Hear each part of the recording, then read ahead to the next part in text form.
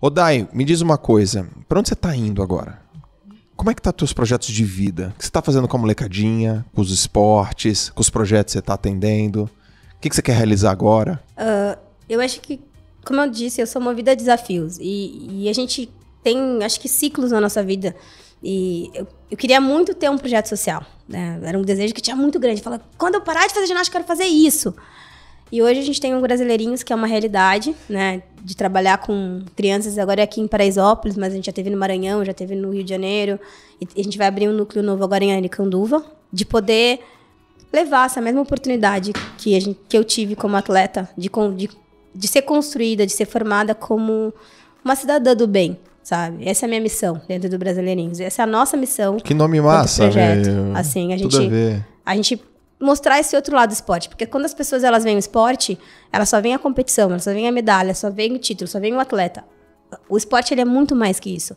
Ele é uma ferramenta de transformação incrível, né? Uma ferramenta uh, que você pode levar até as pessoas para elas se descobrirem e se transformarem. Perfeito. A gente está fazendo isso com criançada de 6 até 17 anos. Então, desde pequenininho até os maiores, assim, meninos e meninas. Então, a gente já está já tá fazendo isso. Já estou fazendo isso e de todos os trabalhos que eu faço, é o meu trabalho que eu mais amo, sabe? Eu amo fazer isso, eu amo estar com as pessoas, eu amo e eu vivo o projeto, eu vou, eu vou no projeto sempre. Eu conheço os pais, eu conheço as crianças, eu escolho os professores, eu, eu faço, eu tô ali. Uhum. E essa era a minha ideia quando de ter projeto. Não era só ter o nome do projeto, não era só, só, só ser o meu projeto. Eu viver o projeto mesmo, eu gosto disso. E gosto de, desse dessa proximidade, dessa compreensão. Até mesmo para eu entender uh, como eu fui uh, abençoada com tudo, sabe? E, e, como o que eu vivi pode servir para outras pessoas. E cada um encontrar o seu jeito ali, mas as lições que eu tive, das pessoas que trabalham comigo mesmo, levar isso para a realidade de uma criança que não tem isso em casa esse apoio familiar mesmo, esse olhar de você ter um exemplo positivo dentro da tua casa. A gente sabe principalmente que dentro das comunidades, que é o público que a gente mais atende, não só de comunidade, a gente tem um público, a gente fala muito sobre que foi outra lição que aprendi dentro, dentro do, do projeto. É, quando eu comecei a fazer o projeto, eu, falava muito, ah, eu quero atender criança carente, criar atender criança carente. E quando eu entrei no, no projeto no Maranhão, uhum. E eu já tava com o projeto aqui. E eu ficava. Não, não foi Maranhão, foi Mesquita. Eu ficava, eu quero atender criança carente. Não, eu quero atender só criança da comunidade, criança carente. 2014. Aí uma mãe chegou pra mim e falou assim: Daiane, uh, meu filho também é carente. A criança estava numa escola particular. Ah. Entendeu? Eu, meu filho também é carente.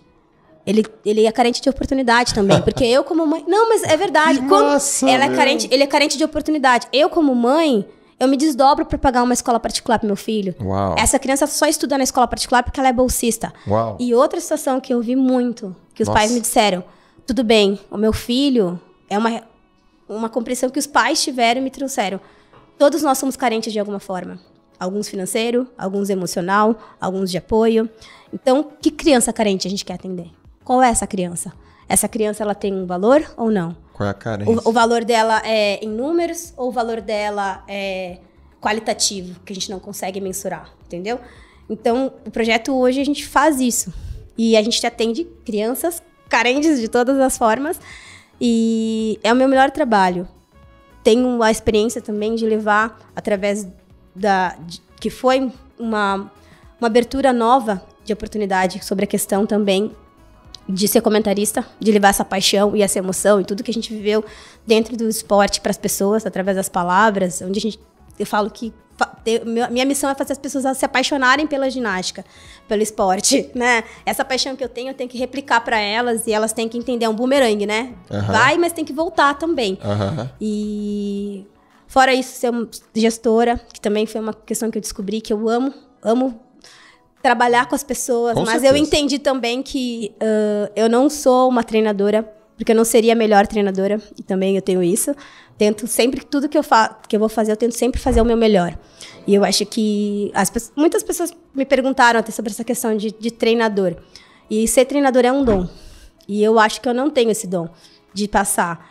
Eu entendi isso quando eu fiz estágio, né? Uhum. Que no estágio, eu lembro que eu estava treinando uma menininha e eu queria muito que ela fizesse. Ela era muito boa, sabe? Eu uhum. fiquei assim, com uma gana, com uma fome. Eu ficava assim. faça isso. E ela, não. E ela chorava. E eu não sei o quê. E eu ficava enlouquecida. Eu ia pra casa e falava, mas por que, que ela não quer? Como que, como que pode? Ela tem ela é, é um super talento. E a criança não queria. Uhum. E ela era novinha, ela tinha tipo 11, 12 anos. E ela não queria, eu ficava inconformada, sabe? Aquilo. Eu falei, gente, como que ela não quer? Ela tem tudo, ela não quer. E aí eu, eu entendi que ia ser muito difícil, ia ser uma frustração para mim. Não era frustração para ela, mas era uma frustração para mim como treinadora ela não querer. Uhum. Entendeu? E aí isso foi difícil para mim. Eu falei, não, eu não sirvo para ser uma treinadora.